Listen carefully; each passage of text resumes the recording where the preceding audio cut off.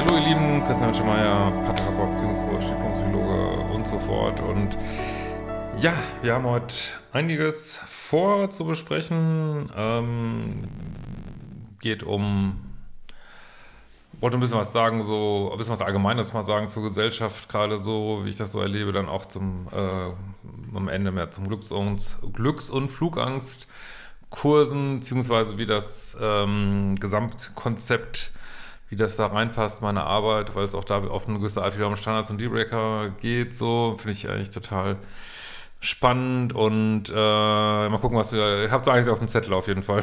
Gut, als erstes mal ähm, Selbstliebe-Challenge, da hatten wir einen Fehler, teilweise stand da 1.4. und 1.3., äh, sorry dafür, wir haben uns jetzt trotzdem entschieden für den ersten vierten, weil das eigentlich der Plan war, dass Leute nicht parallel Selbstliebe-Challenge und Selbstbehauptungs-Challenge machen müssen in einem Monat. Das ist vielleicht ein bisschen tough, äh, weil die, die läuft ja gerade Selbstbehauptungs-Challenge und deswegen, ja, äh, geht es dann halt 1. April los und ähm, ist auch mal gut, wenn man so als Gruppe startet. Äh, das ist dann irgendwie cooler, genau. Das mal kurz dazu. Dann ähm, genau, was mir so in Gesprächen mit Klientinnen und Klienten aufgefallen ist oder schon länger auffällt, ähm, da wollte ich auch nochmal einen Tacken zu sagen. Ähm, ja, das, äh, was ich so total, also ich meine, ich habe jetzt auch keine, keine Lösung für, aber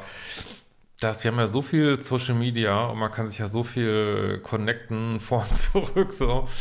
Aber äh, im Endeffekt ja, strugglen eigentlich alle meine Klienten mit Freundschaften irgendwie. Also ich kenne das Thema ja auch. So, gut, ich bin jetzt auch gerade umgezogen und ähm, also struggle, struggle mit äh, Freundschaften, die irgendwie zerfallen vor den Augen. Irgendwie ist schwer was Neues zu finden und obwohl wir so viele Möglichkeiten haben und das addiert sich natürlich auch zu den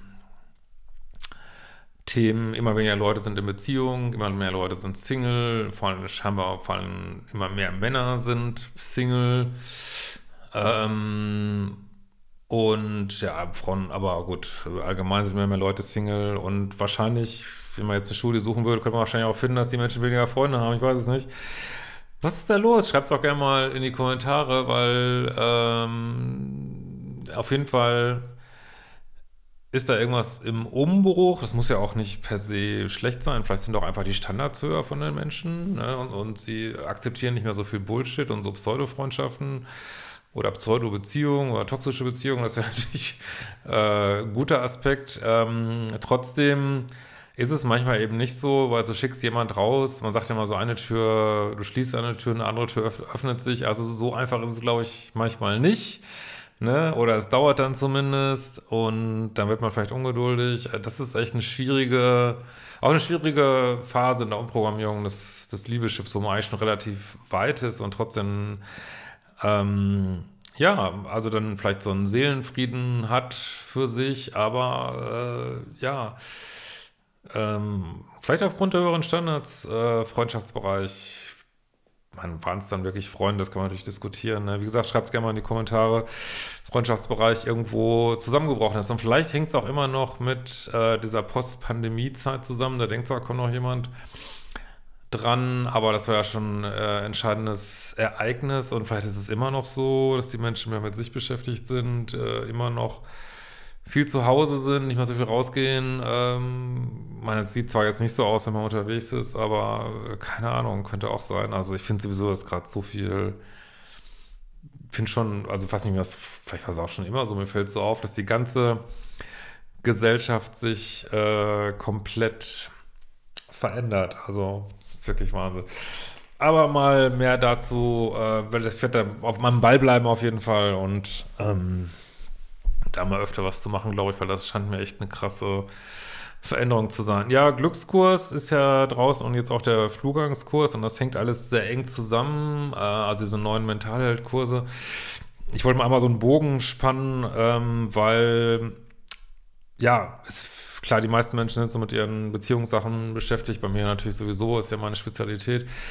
Aber ähm, ja, es gibt ja tatsächlich neue, wirklich spannende neue psychologische, also relativ neue psychologische Entwicklung und das ist wirklich so der letzte Shit, den ich da in diesem Glückskurs äh, verarbeitet habe. Man es heißt Glückskurs, aber geht natürlich auch viel um, wenn man halt nicht so glücklich ist und ähm, das ist jetzt kein Sunshine-Kurs, der alles irgendwie rosarot streicht oder äh, Sonnenblumengelb irgendwie, sondern einfach erklärt, warum wir damit so strugglen, warum es so schwierig ist, äh, dauerhaft so richtig happy zu sein.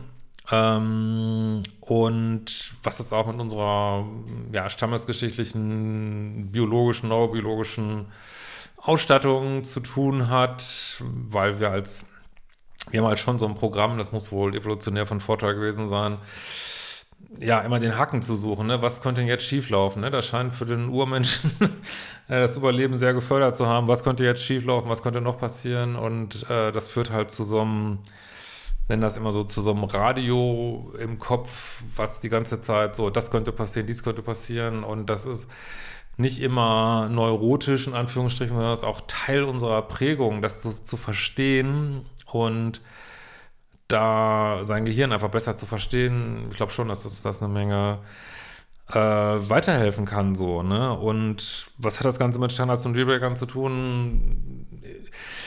Also, wenn du diese neuen Kurse machst, wirst du feststellen, dass es letztlich du, ähm, also dieses Ganze, was ich so mache, diesen Fokus aufs Erwachsenen-Ich, Fokus auf diesen inneren Chef in dir sozusagen. Also wenn du dieses innere Team in dir vorstellst, Fokus auf dieses Oberhaupt in diesem inneren Team, ähm, das, was ja auch in diesen Liebeschip-Kursen ist, so in dieses Erwachsene-Ich gehen, so was passiert ja eigentlich nicht, so dieses kindliche Ansteuer lassen. Das setzt sich in diese neuen Kurse halt fort, dass du sagst, hey, ich bin nicht bereit, hier irgendwelche sinnlosen Befürchtungen oder Miesmacher ansteuern zu lassen, mich einfach nicht bereit zu. Vielleicht muss ich das manchmal ertragen, dass es da so innere Stimmen im Kopf gibt. Aber äh, ja, nee, ich gehe meinen Weg und da kommen sozusagen die Standards wieder mit rein. In diesen neuen mentalen Kursen geht es halt viel um Standards, die du dir selbst setzt, ne? dass du dich zum Beispiel nicht von irgendwelchen blöden inneren Glaubenssätzen oder sind auch gar nicht immer Glaubenssätze, also bestimmten Eigenarten, die unser Gehirn hat, dass du einfach nicht davon die Laune vermiesen lassen willst, so. Und äh, dass du eben auch für dich so ein Commitment hast, dass du eben Sachen machst oder lässt, also dass du dich, die dir einfach nicht gut tun, ne? Oder eben Sachen machst, wo du weißt, die sind jetzt wichtig. Und äh, insofern ist auch, da schließt sich wiederum dieser Flugangstkurs, ist ja so eine Lifestyle-Befürchtung, die viele haben, setzt sich das auch wieder so fort. Äh, für mich ist das so ein Spezialthema, wie gesagt, da werde ich auch nochmal mehr darüber machen, weil das so die, die sozusagen singulärste, krasseste Sache ist, mit der ich mich äh, lange rumgeschlagen habe irgendwie und auch, ja, kann ich auch nicht, überhaupt nicht sagen, dass das ist immer wieder eine Sache, die ich so im, im Griff behalten muss, sag ich mal, äh, so, dass man nicht gerne fliegt, obwohl ich schon ähm, 50, oder ich weiß nicht, 50, 60 Flüge, also wie wahrscheinlich die meisten, äh, also jetzt eine Kurzstreckenflüge mit reinzieht, gemacht habe ähm, und viel persönliche Erfahrung damit habe, habe ich dachte ich mir, mache ich mal äh, einen Kurs dazu, der ist ja jetzt gerade raus. Und auch das, übrigens, wenn ihr diese neuen Mentalheld-Kurse finden wollt, ich packe den Link hier nochmal drunter, dass die sind unter dem Mentalheld Reiter oben oder einfach liebeschiff.de Schrägstrich Mentalheld oder auch ähm, ich meine, ich hätte sogar eine eigene Domain da gemacht. Ähm, naja, aber momentan findet es jetzt, glaube ich, noch am besten unter ah ja, mentalheld.com ist das dann, genau, da könnt ihr es auch finden. Äh, leitet da letztlich die Liebeschip weiter, seid aber nur weiter im Moment, sehe ich gerade hier.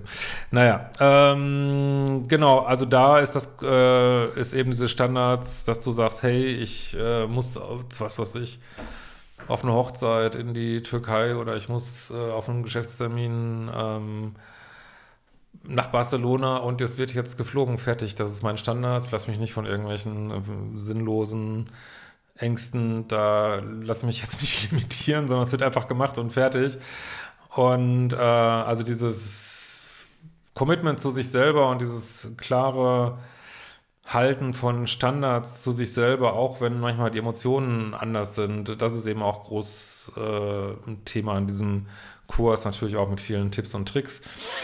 Und weil, ich meine, klar, ich bin da jetzt äh, ein bisschen andere Generation, aber ja, für meine Kinder und alles, was danach kommt, äh, egal wie sich Klima, also meiner Ansicht, es ist nur meine persönliche Meinung, egal wie sich die Klimakrise entwickeln wird, äh, ich meine, selbst die Klimaaktivisten fliegen, also es wird geflogen werden und es wird das Normalste der Welt sein. Wenn du da ähm, nicht mit kannst, ist es scheiße irgendwie, ne? Oder nicht mit willst oder Klassenfahrten werden viel mit Fliegen gemacht. Äh, und gesagt, unsere Kinder wachsen damit auf und also meiner Ansicht nach, dass sich irgendwie der Flugverkehr äh, einschränkt, halte ich für völlig, völlig absurd.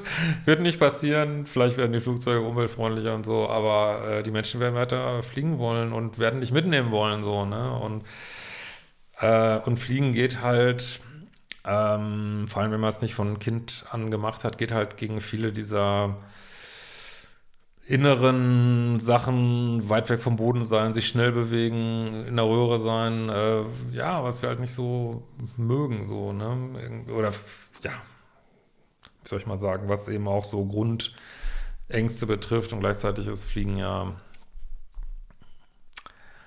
ist ja wahrscheinlich sicherer, irgendwie nach New York zu fliegen, als mit dem Auto von München nach Hamburg zu fahren. Also wahrscheinlich viel sicherer. Äh, trotzdem, ja, spielt uns da unsere Psyche gerne mal einen Streich. Ja, ansonsten, äh, genau. Ähm, ich äh, finde das wirklich krass, wie gesagt, mit der Gesellschaft. Muss ich, das ist. Ähm, ich hatte ja in dieser Corona-Zeit so auch die Hoffnung, dass das mal, da war ich irgendwie sehr optimistisch mal, dass es jetzt mal so richtig so einen Schub gibt, dass die Leute mal aus dem Ego rauskommen und was weiß ich, aber